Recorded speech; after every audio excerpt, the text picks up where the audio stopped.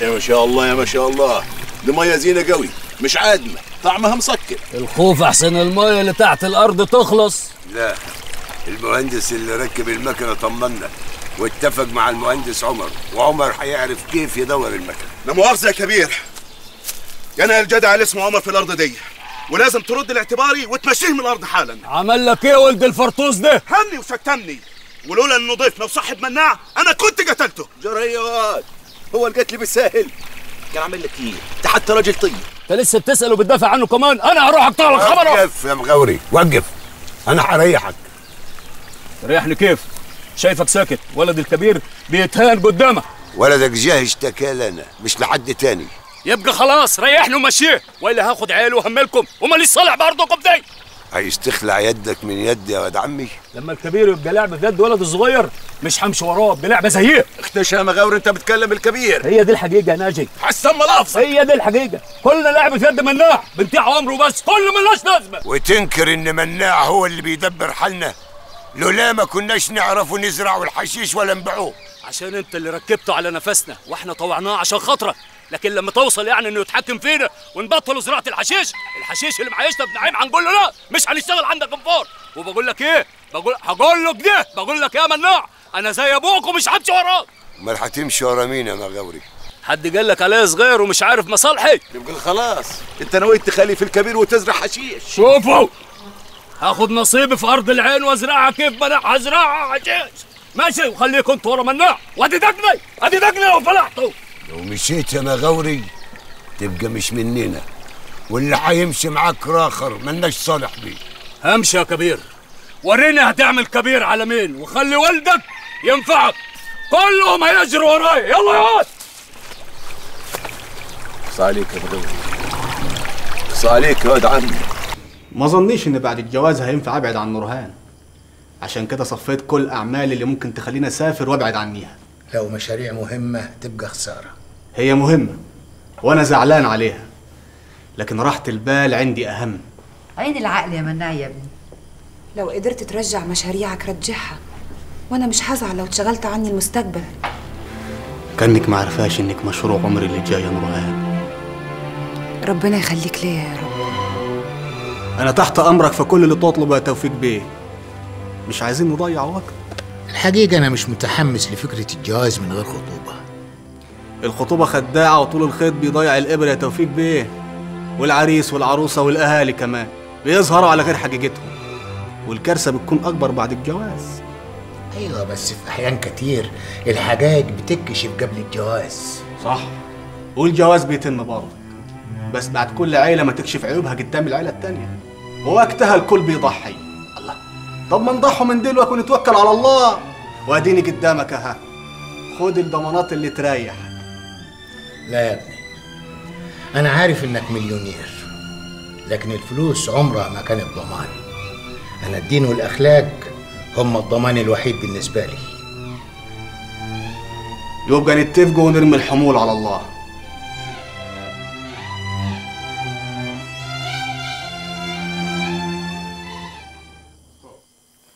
شفت يا بوي؟ شفت صحبة المناع نفعت كيف؟ عرفت منه كل حاجة. عرفت منه كيف يخزن التجاوي عشان ما تفسدش. شوف يا همام يا ولدي. الفرصة جاتك عشان تاخد مكان مناع صاحبك. وزي أبوه موقف جنبه أنا هقف جنبك. واخلي الكل يسمع كلامك. قدها وجدود يا بوي. أنا مش ناقصني حاجة. وكيف ما كان بيعمل مناع أنا هعمل. وأكتر كمان. علشان تبقى زي مناع وتاخد مكانه لازم قلبك يبقى زي قلبه. حجر صوان على الأغراب عجينة طرية على أبوه وعمه. فاهمك يا بوي. وعمري ما اخيب ظنك. يوم المنى يا ولدي لما أشوفك راجل تهاب كل الرجاله يوم المنى. مغاوري معاه ولده شاهين قاعدين في المضيفة مستنيينك يا كبير. يا مرحب يا مرحب. آه.